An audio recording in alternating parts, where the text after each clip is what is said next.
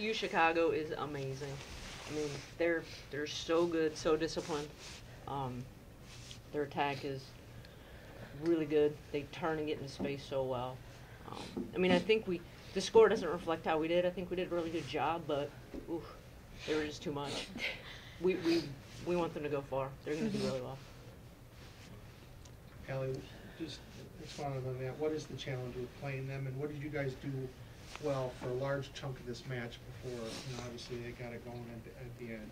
Um, for a large chunk of the match, I'd say we just, I mean, we defended them well. We pressured really hard, but they just had the ability to keep going, keep pushing. And I mean, we kept pushing through the whole game. I'm so proud of how we played, but they do all the little things really, really well. And uh, like Leigh said, they're super disciplined. So they just started connecting. They kept connecting to feet, uh, had really great first touches on the ball, and they finished their chances. Um, but I would say we, we held them off. We were battling.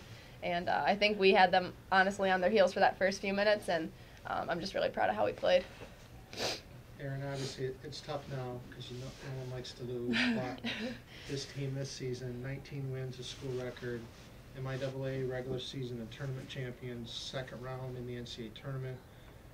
I know it'll, it'll probably take some time before it settles in, but what, what has Mm. this season meant to you as a senior, and to see where this program has gone? Yeah, definitely. This season has been so fun, and I think that's one of the hardest things, like to realize now that it's over, um, like not being able to be with your friends every day after practice. I think that's the biggest part of this team is such a family, and like hanging out all together is like one of the best feelings ever. Um, I know we'll still hang out, but like playing playing soccer together is just something that um, is is really unexpected, unex- unexplainable. Sorry, I'm a little emotional, but um, yeah, this whole year was just one of the best years ever um, for my past four years at Hope College. Um, just playing with the girls that I love and playing the game that I love and working hard every day to be where we are today. And I definitely think that this season is not one to hang our heads about. Mm-hmm.